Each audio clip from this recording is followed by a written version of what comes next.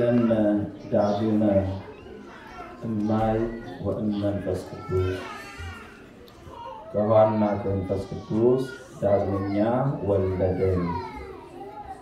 ለከበሩ አባታችን መላከ ብርሃን ቆሞስ አባ ዘውዱ ሐዲስ የዚህ ታላቅ ደብር አስተዳዳሪ፣ ለከበሩ አባታችን መላከ ብርሃናት ተሾመ ዮሐንስ የመካነ ሕይወት አቡነ ገብረ መንፈስ ቅዱስ ቤተክርስቲያን አስተዳዳሪ፣ አበው ካህናት፣ አሃው ዲያቆናት፣ በዛሬው ዕለት ስርዓተ መራዊ ወመርዓት እየተፈጸመላችሁ ያላችሁ ሙሽሮች፣ በክርስቶስ ደም የከበራችሁ ኦርቶዶክሳውያን ምዕመናን፣ ምዕመናት በሁሉ እግዚአብሔር ስም እንደምን አደራችሁ?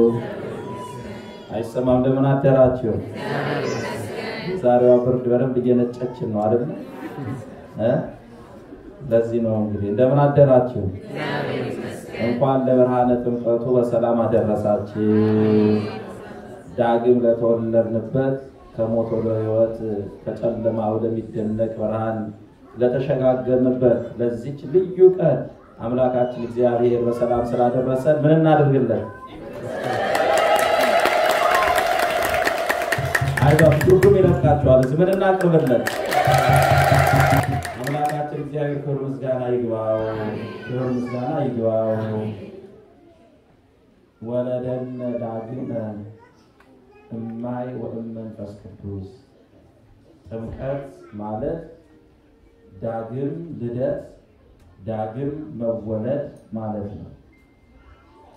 ጥምቀት እንደምታውቁት በብሉይ ኪዳን የረከሱ ነገሮች የሚጸዱበት የረከሱ ዕቃዎች መንጻት የመንጻት ስርዓት የሚደረግ በብሉይ ኪዳን ከክርስቶስ ልደት በፊት ያ ለሐዲሱ ጥምቀት ለስርየተ ኃጢአት መገኛ ለርስት ለመንግሥተ ሰማያት መውረሻ ለሆነው ለሐዲሲቱ ጥምቀት አምሳል መርገፍ ጥላ ነበር። እንዲሁም በብሉይ ኪዳን ሰዎች ከደዌ ሥጋ ለመዳን ወደ ጥምቀት ይወርዱ ነበር። ለምሳሌ እነ ንህማን ከለምጹ ከነደደ ለምጹ የነጻው የዳነው በታላቁ ነቢይ ትእዛዝ ወደ ዮርዳኖስ ባህር ወደ ሐዋናና ፋርፋ ይቀጣ ወደ ዮርዳኖስ ወንዝ ሂዶ በዛ ሰባት ጊዜ ብቅ ጥልቅ ብሎ ነበር እና ነቢዩ ሲያዘው ምን ብሎ ነበር? ንህማን ወንዙ ውስጥ ገብቶ ለመውጣትማ በሀገሬ ሐዋናና ፋርፋ የተባሉ ኃያላን ወንዞች አሉበት፣ እዛ ገባና ወጣ ነበር አለው። አይደለም፣ ይሄ በነቢይ ትእዛዝ በእግዚአብሔር ሰው ትእዛዝ የሚደረግ ነውና ሂድ ብሎ ግያዝ ነገረው። በዛ የተነሳ ሂዶ ያ ንጉሥ ከለምጹ ከነደደ ለምጹ ነስቷል። ለሐዲስ ኪዳን ደግሞ ለደዌ ሥጋ ብቻ ሳይሆን ለደዌ ነፍስ መንጫ የሆነው ጥምቀት የተመሰረተው በኢየሱስ ክርስቶስ ሲሆን ያኛው የብሉዩ ለዚኛው ለደዌ ነፍስ መዳኛ ለሆነው ጥምቀት መርገፍ አምሳያ ነበር። ስለዚህ በብሉይ ኪዳን ደዌ ሥጋን ይፈውሳል። በሐዲስ ኪዳን ደግሞ ደዌ ሥጋን ብቻ ሳይሆን ደዌ ነፍስንም ይፈውሳል። ደዌ ነፍስ የሚባለው ደግሞ ኃጢአት ነው። ስለዚህ ጥምቀት የነበረ ስለነበረ የቆየ ስለነበረ ድንገት የመጣ ስላልነበረ ክርስቶስ ከመምጣቱ በፊት ለልደቱም ለጥምቀቱም መገኛ የሆነው መጀመሪያ የሆነው ዮሐንስ የሚባል ሰው ነበር። ወሃሎ አሃዱ ብእሲ ዘስሙ ዮሐንስ ዘይሰብክ በገዳም ወያጠምቅ ጥምቀተ ለንስሐ ወለዕርገተ ኃጢአት ብሎ ቅዱስ ማርቆስ በምዕራፍ አንድ ላይ እንደነገረን አንድ ዮሐንስ የሚባል ሰው ነበረ። ይህ ዮሐንስ ስራው በብሉይ ኪዳን ለነበሩ ሰዎች በገዳም ንስሐን ማስተማር፣ ስለ ንስሐ መስበክ፣ ነስሑ ወእመኑ እስመ ቀርበት ይእቲ መንግሥተ ሰማያት መንግሥተ ሰማያት ቀርባለች ለመንግሥተ ሰማያት መውረሻ ምክንያት የሆነው ክርስቶስ ቀርቦላችኋል፣ መጥተዋል፣ እናንተ ደግሞ ለዛ ተዘጋጁ እያለ መንገድ የሚያቀና በአፈ ኢሳይያስ ቃለ አዋዲ ዘገዳም ተብሎ የተነገረለት ቃለ አዋዲ ዮሐንስ ነበረ። እሱ ምን ነበር ስራው? ለንስሐና ለጊዜያዊ የኃጢአት ስርየት ሕዝቡን ያጠምቅ ነበረ። ከኔ ጋር ናቸው አላችሁ አይደል? ማን ነው ስሙ? ማን ይባላል? ዮሐንስ። ዮሐንስ ማለት ፍስሐ፣ ደስታ፣ ሐሴት ማለት ነው። እንደምታውቁት እናቱ ኤልሳቤጥ በምክንን ልጅ አታ ለዘመናት ስትኖር ከብዙ ዘመን በኋላ እምድረ ልቀት ካረጀች ካፈጀች በኋላ ያገኘችው ልጇ ነው። የሚገርማችሁ ይህ ሰው ለክርስቶስ ልደት መቁጠሪያ ነው። ለክርስቶስ ልደት አሁን የክርስቶስ ልደትን ስንቆጥር በማን በኩል ነው የምንቆጥረው? በማን በኩል ነው የተቆጠረለን? በሉቃስ ወንጌል ምንድን ነው የሚለው? ወበሳድስ ወር ተፈነወ ገብርኤል መልአክ እምኀበ እግዚአብሔር ሀባት ሀገር ዘገሊላ እንተ ስማ ናዝሬት። ስድስት ወር ሲሞላ በስድስተኛው ወር መልአኩ ቅዱስ ገብርኤል ወደ ናዝሬት ገሊላ ወደ አንዲት ድንግል ተላከ ይላል። ከማን ስድስት ወር? ዮሐንስ ምን ከሆነ ከተጸነሰ አይደለም። እሱም በብስራተ መልአክ በቅዱስ ገብርኤል ቃል ነው የተጸነሰው። ለምንድን ነው ያህል ክብር ያገኘው? እግዚአ ሰማያት የሆነውን ሰማያዊውን አምላክ ለማጥመቅ የታጨ ሙሽራ ነው። አያችሁ፣ እሱ ራሱ በዛ በዘመኑ ሙሽራ ነው። አማናዊው ሙሽራ ክርስቶስ እስከሚመጣ ድረስ በዘመኑ የሚከበር የሚፈራ ነቢይ ነው። ስለዚህ የክርስቶስ ልደት እንኳን የተቆጠረው በማን በኩል ነው? በዮሐንስ። ስለዚህ ዮሐንስ ጌታ በስንት ጊዜ በልጠዋል ማለት ነው? በስድስት ወር በመንፈቅ ያው እንደምታውቁት በስድስተኛ ወር ቅዱስ ገብርኤል ሄዶ ለእመቤታችን ያንን የብስራቱን ቃል ሲነግራት እመቤታችን ጸንሳ ተገኘች አይደለ? በሰማያ ቃለ መልአክ መልአኩን ድምፅ ሰምታ ነው ትጸንሲ ወትወልዲ ወልደ ሲላት ትጸንሻለች ወንድ ልጅም ትወልጃለች ሲላት ትንሽ ጥያቄ ያቀረበች እኔን ዘያምር ብእሴ እመቤታችን ብዙም አልተከራከረችም። ለነገሩም አልተጠራጠረችም። ግን ሰው ናትና ጥያቄ ያቀረበች እኔ እንዴት ይሆናል ይሄ ነገር? እኔ እኮ እንደ ዘመኑ ሴት ቢሆን ቀበል ነበር የምታደርጓል ማለት የዚህ ዘመን ሴት ጦራው ሁሉ ጋጋታ እንደዛ መልአኩ ከሰማይ ወርዶ በጉልበቱ ተንበርክኮ ተነጥፎ አደግድጎ ሰላም ለኪ ብትባል ወይኔ ጉዳችን የሚፈራው እንጂ በዚህ ዘመን ቢሆን እንኳን ለእኛ አልሆነ። በእውነት እመቤታችን ግን ምን አለች? እፎኑ ከመዝኑ እንጋ አማሃይታ አምሁ እንዲህ አይነት እጅ መንሻ፣ እንዲህ አይነት ማደግደግ፣ እንዲህ አይነት ሰላምታ እንዴት ለኔ ይገባኛል? እኔ አይገባኝም አለች እናታችን። በረከቷ ረድኤቷ ይድረስብን ይድረስልን። በእውነት አይደል? የትህትና እናት እኮ ናት አይደል? ትህትናን ማስተማር የጀመረች ማን ናት? እመቤታችን ናት። ትህትና ብቻ አይደለም፣ ሲነገራት ደግሞ ማመን ማመንን የነገረችን ማን ናት? እመቤታችን ናት። እንደውም እዚህ ትምህርት ሃይማኖት ላይ ምን ይላል? ሃይማኖት ማለት ይላል እንደ እመቤታችን የማይቻለውን ይኩነኒ በከመ ትቤለኒ እንደ ቃል ይደረግልኝ ማለት ነው። ሃይማኖት ይሄ ነው። ታምኖ የማይቻል ያለ ብእሲ ያለ ወንድ ዘር መውለድ ትችያለሽ ስትባል እንግዲህ ካልክማ ይሁን ይደረግ ያለች ይሄ ተአምኖ ነው። ከሃይማኖት የሚበልጣል ተአምኖ ማለት ከኔ ጋር ናቸው አላቸው። ተአምኖ አሁን ምዕመናን በዚህ ዘመን እንዲኖረን የሚያስፈልገው ተአምኖ ነው። ተአምኖ ምን ማለት መሰላችሁ? የማይቻለውን ማን ይችላል? ማን ይችላል? የማይሆነውን ማን ያደርጋል? በቃ እግዚአብሔር የሚሳነው ነገር የለም ማለት ነው። በቃ ተአምኖ ይሄ ነው። እንደ ቅዱስ ገብርኤል ለእግዚአብሔር የሚሳነው የለም። እንደ ድንግል ማርያም ደግሞ ይሁንልኝ ማለት ተአምኖ ነው፣ ሃይማኖት ነው እንጂ እኮ በሰው ሰውኛው ከሄዳችሁ እንዴት ይቻላል? ይቻላል እንዴ? አይቻልም።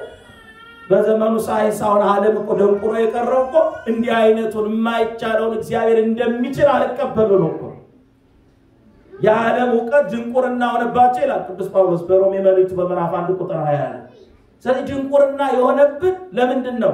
የማይቻል ነገሮችን ማን ይችላል? ግድ የላችሁ ነገር ማን ይችላል? እግዚአብሔር ይችላል።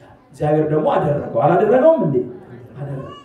ስለዚህ ቅዱስ ዮሐንስ ለእመቤታችን ብስራት ለክርስቶስ መጸነስ መገኛ ምንጭ ነው።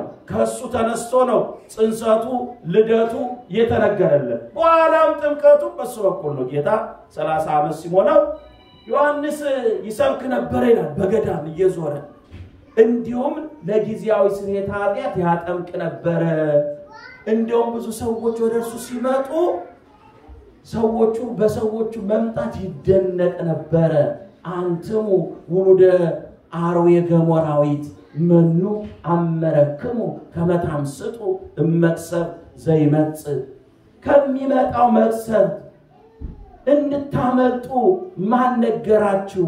ማን አሳወቃችሁ? እያለ ይጠይቃቸው ነበር። በእውነት በዚህ አሁን ዓለም እንደዚህ በረከሰበት፣ ውሸት በነገሰበት፣ ሰው እርስ በርሱ በሚባላበት፣ ዓለም በሙሉ በጭፈራ በቀለጠበት፣ ኃጢአት ከምድር እስከ ሰማይ በነገሰበት የሰው ልጅ ምን ልስራ እያለ አስረሽ ምች ባለበት ዘመን የሁሉ ምዕመናን የሁሉ ዛሬ በኢትዮጵያ ምድር ያየነው በዓለም ዙሪያ ያየነው ሕዝበ ክርስቲያን ነጭ ለብሶ መምጣቱ ያስደንቃል። እግዚአብሔር ይክበር ይመስገን። በእውነት በዚህ ዘመን በዚህ ዘመን ክርስትና በመንግሥተ ሰማያት የምትገፋበት ዮሐንስ በሚገፋበት በዚህ ዘመን በእውነት እግዚአብሔር እናመሰግነዋለን። የሁሉ ሕዝብ በእግሩ ወጣቶቻችን ደስ አይልማበት መንገድ ሲያነጥፍ ወገባቸው ቆርጥ እስኪል ድረስ አይደለም ታቦቱ እንዲሁ መሬት እየረገጡ እንዳይሉ ያን የተሸከሙ አባቶች ምንጣፉን እያነጠፉ ጉዝጓዝ እየጎዘጎዙ ባንዲራውን እየዘረጉ ምን እናድርግ ምን እንሆን ሲሉ ይህንን ያሳየንን እግዚአብሔርን እናመሰግነዋለን። በእውነት ዮሐንስ ተደነቀ ይላል። መኑ አመረክሙ ማን ነገራችሁ? ከሚመጣው መቅሰፍት እንድታመልጡ እናንተ አርዌ ገሞራዊት ልጆች የእፉኝት ልጆች ይላል። የምን ልጆች አላቸው? የምን ልጆች? የእፉኝት እፉኝት ምን ነበረች? ሁልጊዜ ስለዚህ ሳሰብን ምን ትዝ ይለኛል መሰላችሁ? አሪዞና የሚባል ቦታ ሄጄ እፉዬ ገላ የድሮ ልጆች ነን የምንጫወትበት አለች። እኔ ራሱ በእውነት ረስቻታለሁ። እሷ ፍጥረት መኖሯን ራሱ ያው ልጅ ወዶች ነን የምናውቀውና እፉዬ ገላ ነው የምትባለው እሷ ናት አሉ። ምንድነው አርዌ ገሞራዊት ማለት እፉኝት እ ከዚህ በፊት ነግሬያቸዋለሁ አይደል? ዛሬ ሁለት ዓመት ነግሬያቸዋለሁ። አርዌ ገሞራዊት እባብ ማለት አይደለም። እባብማ ከሆነ እባብ አርዌ ብቻ ይበቃው ነበር። አሁን እንግዲህ አርዌ ገሞራዊት ብሎ ጨምሮለታል። የእፉኝት ልጆች በዚህች እፉኝት ተግባሯ አንዳንዴ ታሳዝናለች። እንደ እናት እንደ እናት ታሳዝናለች። ልጅ ለመውለድ ከወንዱ ጋር ሩካቤ ለማድረግ አፈ ማህፀኗ መገናኛ አካሏ ጠባብ ስለሆነ ዘር የምትቀበለው በአፏ ነው በአፏ ነው። ያሁን የዚህ ዘመን ሰው አርዌ ገሞራዊት አይመስላችሁ? ከኔ ጋር ናቸው ይመስላችኋል? አይመስላችሁ? እንደዛ ትሰማለን። ዘር በአፋቸው የሚቀበሉ እንዳሉ እግዚአብሔር ይገስጻቸው፣ እግዚአብሔር ይገስጻቸው። አርዌ ገሞራዊት ዘር በአፏ ትቀበል። እሷ ወዳ አይደለም ያን የምታደርገው ተፈጥሮ አስገድዷት ነው። አፈ ማህፀኗ ያንን ማድረግ ስለማይፈቅድላት በአፏ ዘር ትቀበላለች። እና ይቻ አርዌ ገሞራዊት አሁንም ልክ እንደኛ ዘመን ሰው ምቀኛ ነው፣ ምቀኛ ነው። አሁን ሰው ልክ ብሎ ምን ለበሳችሁ ምን በላችሁ ብሎ የሚመቀኝ እኮ አለ። ከኢትዮጵያ ድረስ በጣም አሁን ሰሞኑን የሰማው ከኢትዮጵያ ድረስ ደብተራ አሰርተው እዚህ ሀገር አምጦ ሰው ሊያጠፉ አንድ እናት መጥተው ሲነግሩኝ እንደዚህ ምራቃቸውን ትፍትፍ ያደርጋል። ምን መሰለህ እቤቴ ስከብ የተዘለዘለ አይጥ አገኝ። አሜሪካ እኮ ኢትዮጵያ ሰምተነዋል። ይህን እኮ ኢትዮጵያ ሰምተነዋል። አይደል? የውሸት ክርስቲያን መስረት ከላይ በአፋ ክርስቲያን መስረት በውስጥ ግን እኮ ማንነታችን እኮ ጉድ እኮ ነው። ይሄው እኮ ነው። አሁን እኮ ሀሰቱ ነው እኮ አሁን አንዳንድ ጊዜ ሰው ምን ይላል መሰላችሁ?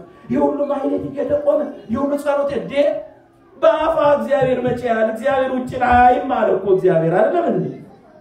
እውነት ሀሰት ሳሙኤል እኮ ነገረው ለእሴ ለንግስና የሚበቃ ልጅ አለ ሲለው መልካቸው ያማረ ቁመናቸው የሰመረ ለኃይል የሚያሳሱ ልጆቹን እና አሚናዳብን እነ ሳማን ይሰበስብ ጀመር። አረ ተባለው እግዚአብሔር ውጭን አያይም። እግዚአብሔር ተክለ ቁመናን አያይም። እግዚአብሔር የደም ጥራትን የመልክ ውበትን አይመለከትም። ወይ እግዚአብሔር ይሬኢ ልበ እግዚአብሔር ምንን ያያል? ልብን ያያል። እዚህ ውስጥ ነው እግዚአብሔር ጉዳዩ ያለው። በመጀመሪያ በቀዳማውያን መስዋዕት አቅራቢዎች በአቤልና በቃየልም እኮ የተማርነው ያንን ነው። እግዚአብሔር ነጸረ ላይላ አቤል መጀመሪያ ማንን አየ? እግዚአብሔር ማንን አየ? ነቃ ነቃ በሉ። ምን ነው እግዚአብሔር መጀመሪያ ማንን አየ? አቤልን አለ። አቤል አቤልን ሲያየው ምንድን ነው? ንጹህ ልቡ የቀና በትክክለኛው መንገድ መስዋዕቱን ያቀረበ ከዛ ወላይ ለመስዋዕቱ ቀጠልና ማንን አየ? መስዋዕት እግዚአብሔር መስዋዕትን አይን ቀድሞ እግዚአብሔር እኛን ነው የሚያየን። እባካችሁ ልባችንን እናቅ፣ ውስጣችንን እናጽዳ። በውጭ በአፋ አይሆንም፣ አይሆንም፣ አይሆንም።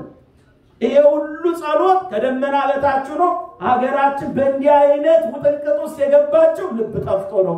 አንድ ልብ ያለው ሰው ጠፍቶ ነው። እውነት ልንገራል ይችን የምታህል ትልቅ ሀገር ያነሰችው ይችን የምታህል ትልቅ ሕዝብ ያላት ሀገር የበታች የሆነችው ሀገር እግዚአብሔር መካነ እግዚአብሔር ተብላ የተጠራችው ምድር የጦርነት፣ የሁከት፣ የአድማ፣ የምቀኝነት ምድር የሆነችው ከእኛ ልብ ጎሎ እንጂ አሁን እኮ ምቀኝነቱ እኮ ቤት ለቤት ብቻ እኮ አይደለም። በየቤተ ክርስቲያኑ በየምኑ በየ ሁሉም ቦታ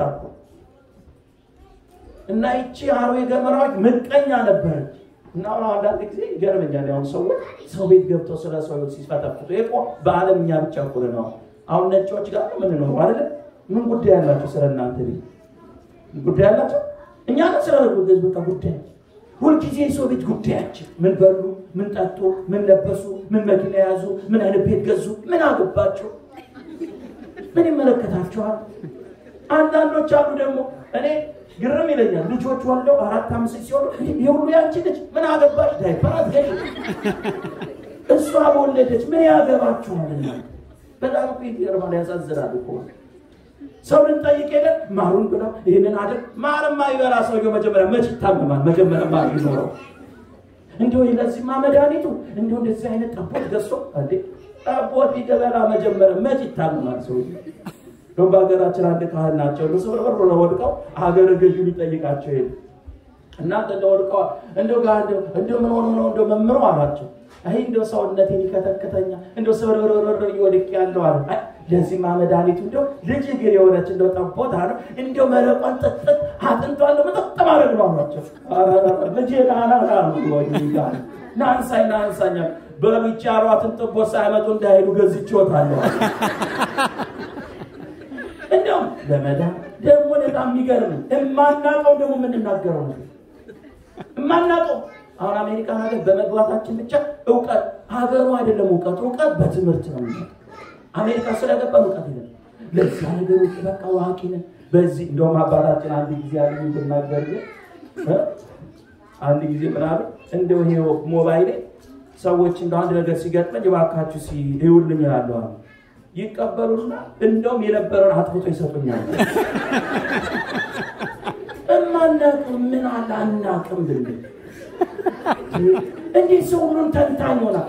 አሁን ሀገራችን ለምንድን የሁሉ ረብሻ የመጣው? ሁሉ ተንታኝ አለ ገብተን ስለ ፖለቲካ መጥቶ የተነትናል። ምንም እኮ ስለ ፖለቲካ አሁን እኮ አልተማርም።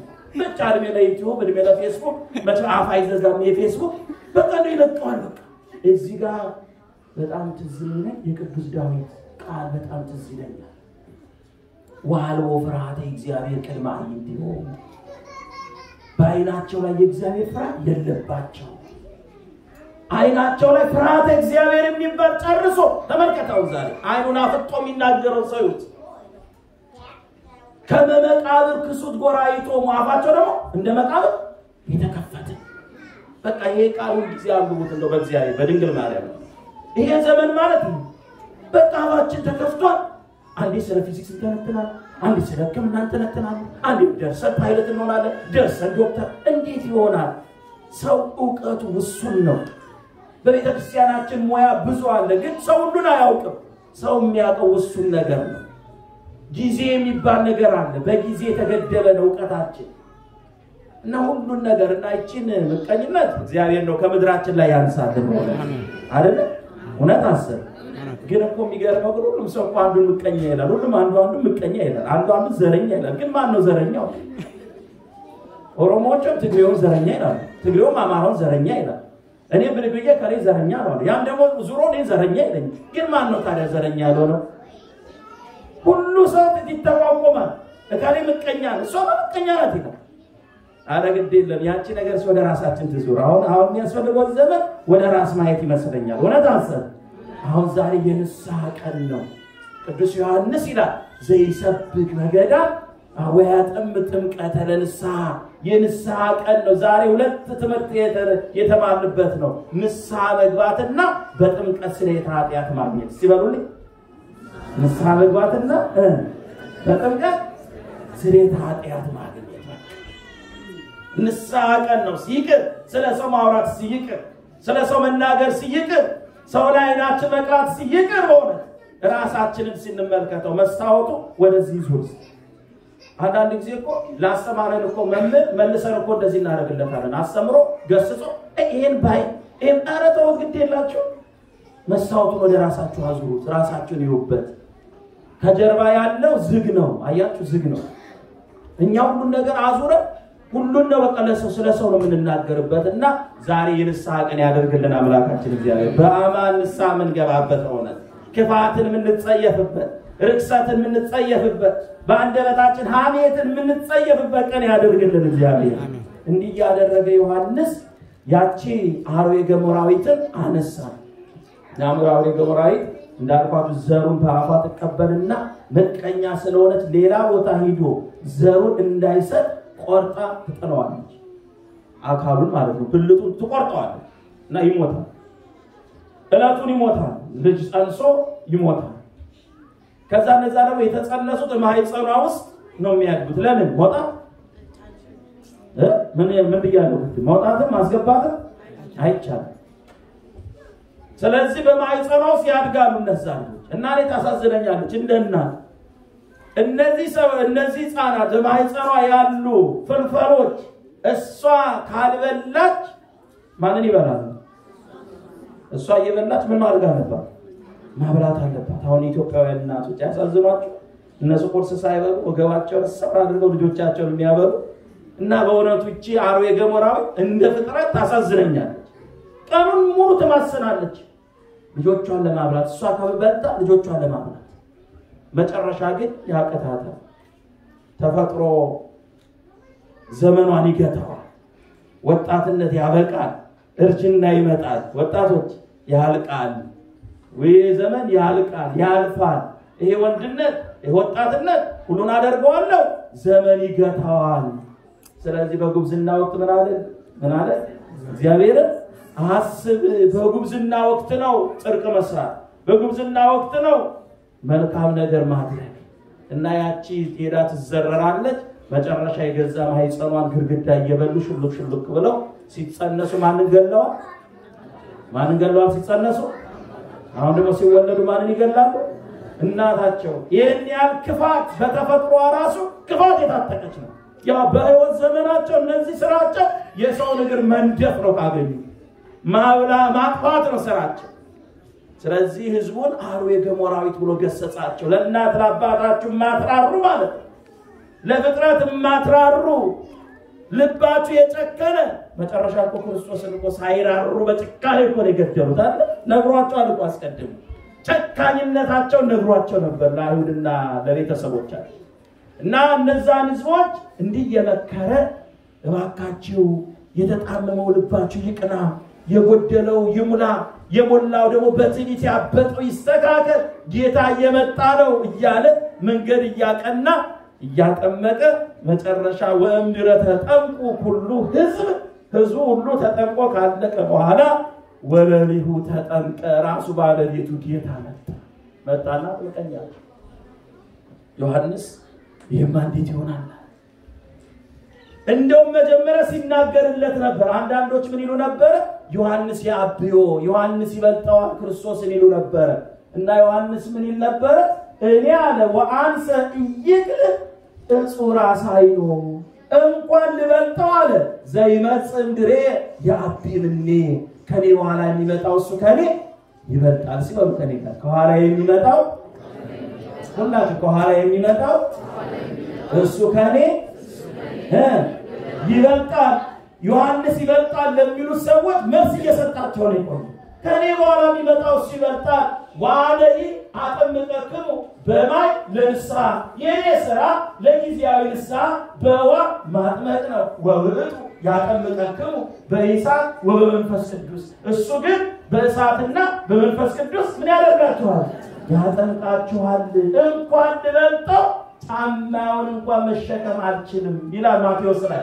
ማርቆስ ላይ ደግሞ ወአንሰ ኢይደሉ እፍታሕ ቶታነ እምእገሪሁ ዘአሣእነ እገሪሁ የጫማውን ዘለበትን እንኳን ዝቅ ብዬ ልፈታ የማይቻለኝ ፍርድ በሙሉ በእጁ የጨበጠ ከሁሉ የበለጠ ዓለምን ያንቀጠቀጠ ምድርና ሰማይን ማሳለፍ የሚችል ስልጣን ያለው ነው እያለ ይነግራቸው ነበርና ያውቃል የመጣው የሚመጣው ማን እንደሆነ እና አጥምቀኝ ሲለው አይሆንም አለ። እንዲህ ሲመሰክርለት የነበረው ራሱ ዝቅ ብሎ አጥምቀኝ፣ ሕግ ልንፈጽም ይገባናል። ይህንን ሕግ መፈጸም ግዴታ ነው። ዓለም ድነት የሚያገኘው ስሬታ ኃጢአት የሚታወጀው የሞት ጥላ የሚጠፋው የሞት ኃጢአት የሚወገደው የዕዳ ደብዳቤው የሚቀደደው በእኔ ጥምቀት ነው። ሕግን መፈጸም ይገባናል አለው። ዮሐንስም ታዘዘ፣ አጠመቀው። ተጠምቀ ሰማያዊ በእደ መሬታዊ ሰማይ ወምድር ዘኢያገምሮ ማኅፀነ ድንግል ጾሮ መጀመሪያ በልደቱ አስደነቀ። ሰማይ ምድር የማይችለው አምላክ በማኅፀነ ማርያም ተወስኖ አየነው። ይህ ነገር ያስደንቀኛል አለ ዮሐንስ አፈወርቅ። ወአንሰ አነክር ወድም በእንተ ዝንቱ ነገር እስመ አብየ ንዑሰ ሕፃነ ኮነ ታላቁ መሪው ገዢው አለቃው ወርዶ ታናሽ ሕፃን መሆኑ ያስደንቀኛል አለ። ሰማይ ምድርን የሚገዛ እሱ በጎለ እንስሳ ወድቆ በአጽርቅት ተጠቅልሎ በጊዜ ሕፃናት ሳየው ያስደንቀኛል አለ ዮሐንስ አፈወርቅ። ይሄ ከአይምሮ በላይ ነው። አሁን እኛ ስለ ክርስቶስ ስደት ለእኛ ተራ ነገር ነው። ለምን እንደሆነ ታውቃላችሁ? ዝም ብለን ስንሰማው ስላደግ፣ ግን ይሄ በጣም ከባድ ነገር ነው። አባቶቻችን አድንቀው አድንቀው አድንቀው አልቻሉትም። እፎ እፎ አግመረተከ ድንግል ወእፎ እንዘ አምላክ ሰከብከበ ጎድ። እንዴት አንተ እግዚአብሔር ሰማያት ወምድር እንዴት ያቺ ታናሽቱ ብላቴናይቱ በማኅፀን ተሸከመች? ሁሉ ዙፋን ሲሆን ሰማይ ዙፋን ምድር የእግሬ መረገጫ ያልክ አንተ እንዴት ወእፎ እንዘ አምላክ ሰከብከበ ጎድ። አምላክ ስትሆን እንዴት በዛ በጎለ እንስሳ ተገኘ በበረት ተወለድ እያሉ ያደንቃሉ አባቶቻችን። እናንተም አድንቁ እናድንቅሽ። በእውነት ያስደንቃል፣ ያስደንቅም። ሁለተኛ በማየ ዮርዳኖስ በጽንፈ ምድር በባሕረ ዮርዳኖስ አስደነቀን አምላክ። ሰማያዊው አምላክ በመሬታዊ ዮሐንስ ሲጠመቅ እንደገና አስደነቀን። ያስደንቃል። ሆነ አምላክ ሲሆን ሰው አጠመቀ። ግን ያንን ሁሉ ያደረገው ለክብር ለሹመት ሳይሆን ለእኔና ለእናንተ አብነት ሊሆነን ነው። ምን ሊያደርገን ነው? ዳግመኛ ሊወልደን። ሁላችሁም በሉ። ለምንድን ነው በማ ዳግመኛ የማይሆን መንፈስ ቅዱስ ከዋና ከመንፈስ ቅዱስ ምን ሊያደርገን ዳግም ሊወልደን። ይህንን ትምህርት እንደምታስታውሱት ለኒቆዲሞስ አስተምሮት ነበረ። ምን ብሎ ማንም ዘይተወልደ እማይ ወመንፈስ ቅዱስ ኢይትሬወታ መንግሥተ እግዚአብሔር። ሰው ዳግመኛ ካልተወለደ የእግዚአብሔር መንግሥት ማየት አይችልም ብሎ ነግሮታል። እና ኒቆዲሞስን ከብዶ ደንቆ ዲክልሉሰ በውያ ወገበያ ውስተ ከርሰሙ ዳግመ አዎ እንደገና ዳግመኛ ወደ እናቱ ማኅፀን ሊገባ ወይትወለድ ዳግመ እንደገና ይወለዳል። ሰው ከውሃና ከመንፈስ ቅዱስ ሊወለድ ይገባዋል ብሎታል። ያንን አብነት ሊሆነ እሱ ራሱ ተጠምቆ ከዋና ከመንፈስ ቅዱስ ወልዶና እኛም ዳግም ተወልደን ይኸው ዛሬ ክርስቶሳውያን ለመባል ወጥተናል። እግዚአብሔር የተመሰገነ ይሁን።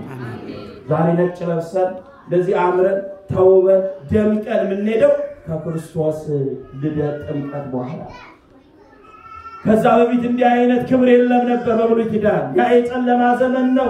ያ የኃጢአት ዘመን ነው። አሁን ግን ዛሬ የክብር ዘመን ነው። የረድኤት ዘመን ነው። የብርሃን ዘመን ነው። የምህረት ዘመን ነው። ስለዚህ ዛሬ እንዲህ አምረብን ተጠምቀ ሰማያዊ በእደ መሬታዊ እያል ከጫፍ እስከ ጫፍ የሁሉ ዝማሬ የሁሉ እልልታ ታቦታቱ ከመንበረ ክብራቸው ወደ ጥምቀተ ባሕር ወርደው ልክ ክርስቶስ ከገሊላ ወደ ዮርዳኖስ እንደሄደው ታቦታቱ ከመንበረ ክብራቸው ዮርዳኖስ ወንዝ ወርደው የሁሉ ሆታ የሁሉ እልልታ የመጣው በጥምቀት ነው ሲል ለብራቱ እግዚአብሔርን አመስግኑ። እግዚአብሔር የተመሰገነ ይሁን። ለዛሬ ዓመት በሰላም ያደርሰን። ዛሬ ደግሞ በመካነ ሕይወት ደግሞ አዲስ ዜና አዲስ ነገር ደግሞ ታይቷል። ቅድም ቀሲስ ብሩኬ ሲነግረኝ ነበር። ዛሬ የስርዓተ ተክሊል የመጀመሪያው የተፈጸመበት ቀን ነው። እግዚአብሔር ይክበር ይመስገን። እስቲ ልልበሉ እነዚህ ዛሬ የሚቀርቡ የተቆመው ቀለም ትምህርተ ኅቡዓት ይባላል እና ቅድም ትምህርተ ኅቡዓት ስንል ምን የሚል ቃል አየሁ መሰላችሁ? ዘየሐሲ ተወካፊ ንጽሕናተ ቅጽርነ ኖላዊ ሆህድ አንቀጽ ፍኖተ ሕይወት ሚናል ኖላዊ ሆህድ አንቀጽ ፍኖተ ሕይወት ፈውሲሳይ መስቴ መኮንን ፍኖተ ሕይወት ማለት ፍኖተ ሕይወት ዛሬ ፍኖተ ሕይወት የሕይወት መንገድ ማለት ነው። ምን ማለት ፍኖተ ሕይወት ማለት ነው? ታውቃላችሁ? የደብራችሁ ምን ማለት ነው? የሕይወት መንገድ ደግሞ በዚህ ደግሞ መካነ ሕይወት አለ። ደግሞ ገብረ መንፈስ ነው ምን ይባላል ነው? መካነ ሕይወት ማለት ያ ደግሞ የሕይወት ቦታ የሕይወት መገኛ ነው። ከኔ ጋር ናቸው። ስለዚህ ፍኖተ ሕይወት መስቴ መኮንን ፈውሲሳይ መስቴ መኮንን ለታወቀው ልባችን ለታወቀው ሰውነታችን የፈውስ ምግብ የፈውስ መጠጥ የሚገኝበት ፍኖተ ሕይወት ነው። ማን ነው ግን ፍኖተ ሕይወት? ማን ፍኖተ ሕይወት? ኖላዊ የነፍስ ጠባቂ እረኛ ማን ነው? ኢየሱስ ክርስቶስ አይደል? ሆይት አንቀጻው መግቢያው በሩ እሱ ነው። በእኔ የማይገባ በሙሉ ሌባ ነው። ማንም ሊመጣ ፍኖተ ሕይወት የሕይወት መንገድ የሕይወት መንገድ እኔ ብቻ ነኝ። በእኔ የሚገባ በእኔ የሚመጣ እሱ ብቻውን ይድናል፣ ወደ አብ ይቀርባል ብሎ በዮሐንስ ወንጌል 14 የነገረ ፍኖተ ሕይወት ክርስቶስ ነው እና በዚህ በፍኖተ ሕይወት ትልቅ የሕይወት መንገድ የሕይወት ጉዞ ተጀምሯል። ስርዓተ ተክሊል በተክሊል ሁለትነት ጠፍቶ ሰው ወደ ምንድነት የሚሄድበት ነው ወደ አንድነት ትዳሩን ማድረግ የሚገባው እግዚአብሔር ፊት ነው። እግዚአብሔር ነው ፈጣሪያችን። እግዚአብሔር የነፍስ የስጋችን አስገኝ።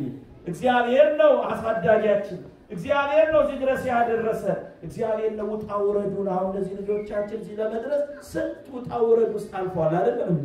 በእናቶቻቸው እጅ እየተገላበጡ ከማደግ ጀምረው እዚህ እስኪደርሱ አለ። ይህንን ሁሉ ውጣ ውረዳ ያሻገረ ማን ነው? እግዚአብሔር ነው አለ። ስለዚህ ጋብቻችንን ለማን እናስታውቅ? መዘጋጃ ያ መዘጋጃ ናቸው። የንብረቷ ጉዳይ አይደል? እዛች ሄደን ነው መጀመሪያ ዋናዋ ጉዳይ። ንብረት እኮ እኛ የምናመጣው ነው። ንብረትማ የሚያመጣው ማን ነው? ራሳችን እኛ ሰርተን። አንዳንድ ጊዜ ሰዎች ራሳቸውን አጠፉ ይባላል። ኢትዮጵያ ውስጥ ገና ገና ባለጸጎች ራሳቸውን ያጠፋሉ። መጀመሪያ ገንዘቡ ያመጡት ማን ናቸው? ገንዘቡን ያመጣቸው እነሱ ገንዘቡ ራሳቸው አመጡ። ቢጠፋ ደግሞ ነገ ያመጡታል።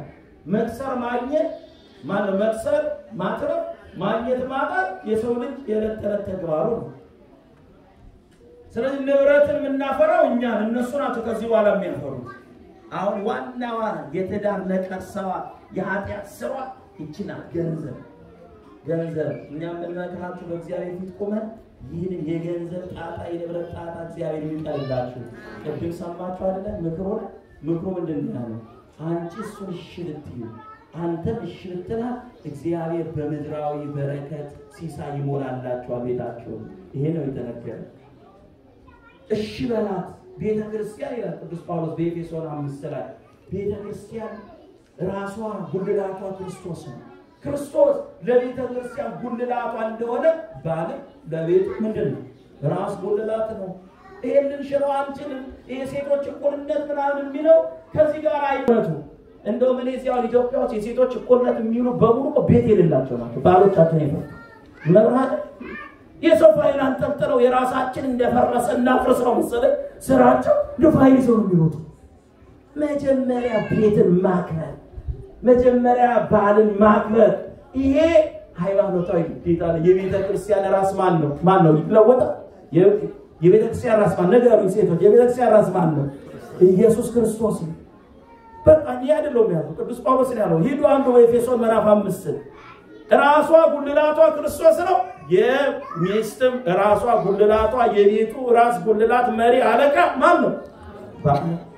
ዋጣ ነው ባልቼ እቺ ደረቅ ሆነ ዋጣ በእውነት ግን ደግሞ መለስ ያደርግናል እንዳልመሰላችሁ እሱ ራስ ስለሆነ እሱ አለቃ ስለሆነ ግን እንደ ልቡ መሆን አይችልም። ምክንያቱም እሷ ምን ሆናትና አካሉ ናታ።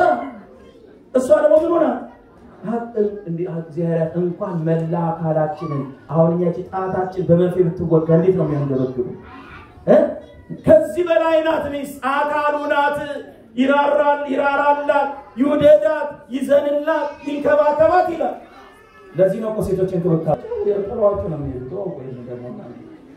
ዝም ብላችሁ አትሸልሉ። ላይ ነኝ የራስ ነኝ ምናምን ብትሉ ዋጋ የለውም። ከእናንተ የሚጠበቀው ደግሞ አድርጉ። ይሄ ደግሞ እናንተ ዋጡ ዋጡ። አሁን አሜሪካ እንደዚህ ፋርሶ እኮ የቀረው ይችን fact የሆነ ምን ይላሉ? አንድ ድሮ መምህር እውነት ይናገራሉ። ሰውዬው እውነት ይደፋሉ እና አንዳንድ ሰዎች አንዳንድ ሰ ይላሉ this is concrete fact ይላሉ። if you want swallow otherwise ይላሉ ሂድና ውሃ ጠጥተህ ዋጠው ይላሉ። ፋክት ነው። ባላት ሚስቶቻችን እንደ አካላችን መውደድ፣ መንከባከብ እንዴት ራስ ከእጁ ይሰውራል? ይቺ ገንዘብ አደለች? መሰወር፣ መደበቅ፣ መሸሸግ እንዴት ራስ ገፎ እግሩን ከላይ እንዴት እግሩን ያስፈርዳል? እንኳን አይደለም ለሌላ ጉዳት መሰቀርቱ እንዴት ራስ ከእግሩ ይደበቃል? እጅ እንዴት ከዚህኛው እጅ ይደበቃል? ስለዚህ ለአካላችሁ ሁሉ ነገር ግልጽ ነው መሆን ያለበት። በመካከል ግልጽነት ካለ እውነት ካለ እግዚአብሔር አምላክ ያንን ትዳር ይባርከዋል። የኛ አለም የአባቶቻችን ቃል ለአይን የሚያሳሱ አለ ለአይን የሚያሳሱ ለልብ ተስፋ የሚሆኑ ልጆችን ይሰጣል። ማን ማን ይሰጣል? እግዚአብሔር። ምን ካለ አንቺም ባልሽን አዎ ካከበርሽው፣ አንተም እሷን ምን ካረካት ከወደድካት። እንደው መወደድ እኮ ለሴቶች የተሰጠው፣ መፈቀድ መወደድ ይህን ካደረጋችሁ የአይን ማረፊያ የልብ ተስፋ ለአይን የሚያሳሱ ልጆችን እግዚአብሔር ይሰጣል። ይሄ ከሌለ ግን መምከን ይመጣል። ማስተዋል ያስፈልጋል። አንድ ነገር ሲመጣ ዞር ብሎ ርዮትን ማየት፣ ራስን መፈተሽ፣ ዝም ብሎ እግዚአብሔር ለመጉረምረም አይደለም። እኔ ምን አጉድያለሁ ማለት ያስፈልጋል። እግዚአብሔር የሚያጎለው አንዳች ነገር የለም። ለቃሉ የታመነ ነው። ክብር ምስጋና ይግባው እግዚአብሔር። ለታመኑት ሁሉ ይታመናል። የኛ እምነት መታመን የሚጎለው ከኛ ነው፣ ከቤታችን ነው። ስለዚህ ራስን መመልከት፣ ራስን ማየት ያስፈልጋል። በእውነት ይህን ካደረግን ደግሞ ጋብቻ ምስጢር ነው፣ ልዩ ምስጢር ነው። ይህን ንገርን አላውቃ ጋብቻ ምንድን ነው? ንገርን። ልዩ ምስጢር ነው። ቅዱስ ጳውሎስ አሁን እዛው ኤፌሶን አምስት ላይ ዝንቱ ውእቱ አብይ ምስጢር ውእቱ ይላል። ይህ ታላቅ ምስጢር ነው ይላል። ምክንያቱም አንደኛ ሁለት የነበሩት ስንት ሆኑ እያልን ነው። አንድ በአይናችን አይታይም። ለምን? ምስጢር ነው። ሁለተኛ ሁለቱ መካከል ምንም ማለት ድንበር የለ። አሁን አንድ ምስጢር ልንገራችሁና አስተውሉ። ለምሳሌ እናት ልጆቿን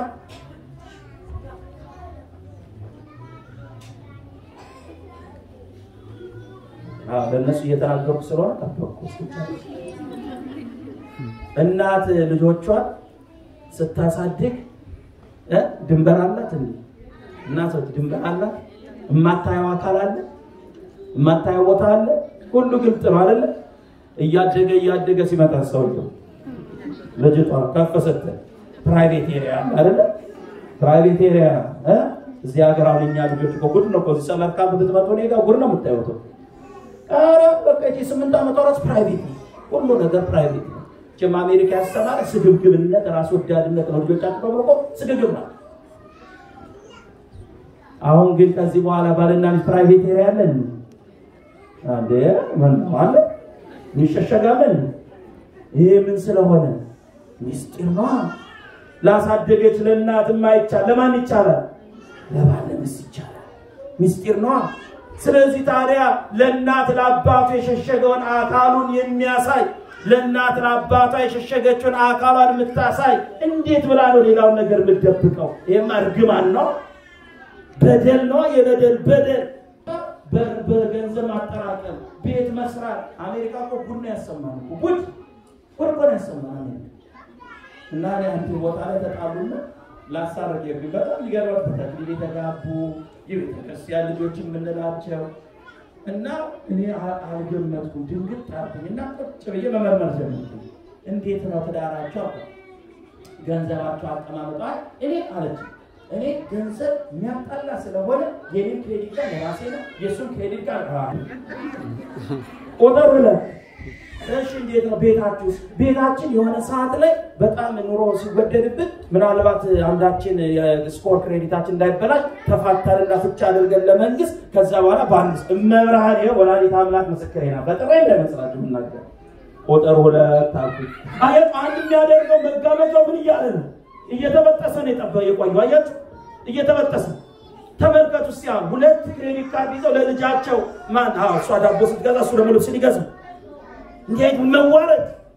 ለዚህ ለሚያልፍ ለዚህ ለሚጠፋ ዓለም ይህን ያህል መንገብገብ እግዚአብሔር ይማረን። በእውነት መጋመጃችሁን አንድ መሆናችሁን አትሸርሽሩት። አንድነታችሁን አብዙት። የሚያቆራኛችሁን ነገር አብዙት። በእግዚአብሔር ፊት በቤተ ክርስቲያን ፊት መርቀን ስንሰጣችሁ ሁሉን ድንበር እንድታፈርሱት ነው። እግዚአብሔር ያፍርሰላችሁ። በመካከላችሁ ግልጽነት፣ እውነት ብቻ ይንገስ። እንዲህ ከሆነ ታሸንፋላችሁ። የቤተ ክርስቲያን አምላክ አይለያችሁ። በዓሉን በዓለ በረከት ያደርግልን። በስብሐት ለእግዚአብሔር።